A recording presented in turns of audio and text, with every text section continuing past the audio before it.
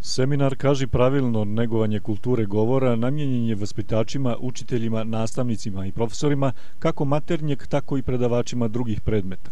Govorna kultura je po standardima prepoznata kao važan segment kod svih koji rade u obrazovanju. Dakle, naš seminar počiva na prepoznavanju nekih tipičnih grešaka što u govoru naših učenika, što u našem govoru, a pre svega i u govoru novinara, odnosno u javnom govoru, budući da javni govor utiče izuzetno na govornu kulturu i nastavnika i učenika.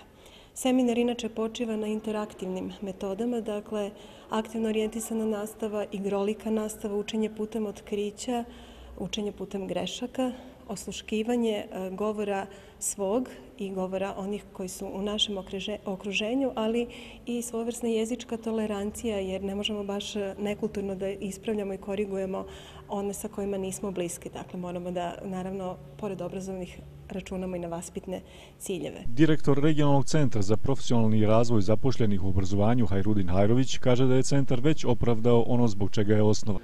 Mi danas imamo već šesti seminar za naše učitelje, nastavnike, profesore i vaspitače. Je nam je želja da unapredimo sistem obrazovanja i vaspitanja u našem gradu. Zbog toga smo i osnovali ovu novu javnu ustanovu.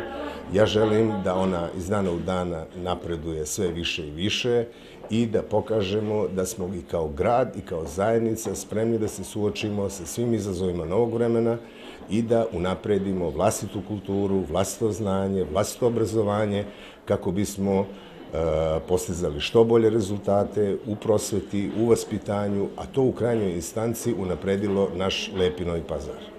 Po riječima Hajrovića, još sljedeće nedjelje će biti održan sličan seminar, onda slijedi pauza do jeseni kada će se, kako kaže, nastaviti sa još intenzivnijim radom.